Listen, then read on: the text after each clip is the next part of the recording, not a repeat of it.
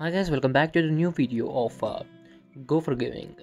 In today's video, I am talking about how to upgrade your Intel Iris Xe graphics with an Intel graphics software. With the latest update, Intel added the new graphics software for Intel uh, in integrated GPUs and uh, dedicated GPUs. Like, and now we can see the latest uh, update of uh, yeah, we can see our information here. Uh, my integrated graphic card, Intel Iris graphics, uh, latest uh, information, and many more. And uh, i i5 11th generation, 1135, G7, and we can update from here. The certified driver updates or anything, whatever uh, whatever it is, and uh, we can update a latest version from here. You can see I'm updated a latest version.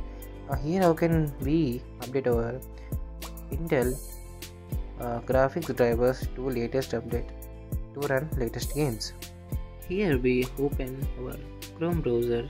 In my case I am opening Chrome browser and in your case you can open any browser you prefer and open the search box search the Intel Iris Xe drivers download and after that searching Intel Iris Xe gra- graphics driver download click the first link of the Intel website.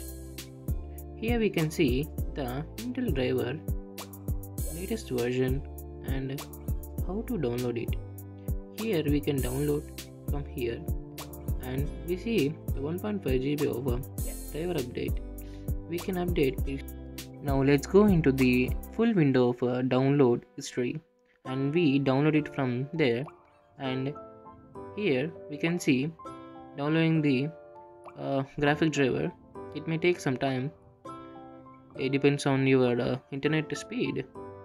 Yeah now how to download the uh, Intel Iris Xe exe first of all click on the Intel Iris Xe uh, graphics driver exe let's click it. And it takes up to time. It depends on your uh, uh, hardware also here is started to extract in process. It may take uh, around uh, uh, 2 minutes to extract the exe file.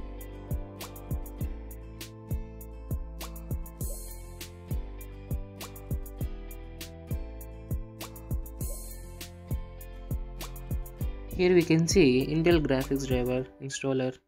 Uh, which take up to the time to open to uh, generally we can uh, begin installation and it uh, checking our uh, collecting data and uh, vagara vagara about windows update and drivers the information around laptop information and let's go to setup file. It takes some time and up to after checking we just do the agree. Uh, let's take our uh, next page. Here we can see the intel graphics driver and uh, raven driver command center. The mostly updates are there. Uh, here we can get a graphic driver software we can download from here. Uh, mostly tick on the uh, clean installation and uh, i already installed. In my case it's uh, saying to repair. Uh, in your case it says to install. And this is a process of downloading of latest drivers of the Intel Iris Xe. After downloading, we can see the software. Uh, I mostly said this about earlier. we can update our driver, graphics drivers from here also. Now onwards, we don't have lengthy process like that. Here mostly features we can see the device information and our graphics driver information and our display information and uh, we can add a profile of our games which we are very interested to play and we can change our graphics uh, presets and uh, sharpness and uh, adapt to frame rates also. Okay guys, this is the process of installing Intel Iris Xe graphics. Don't forget to subscribe and like and bye friends.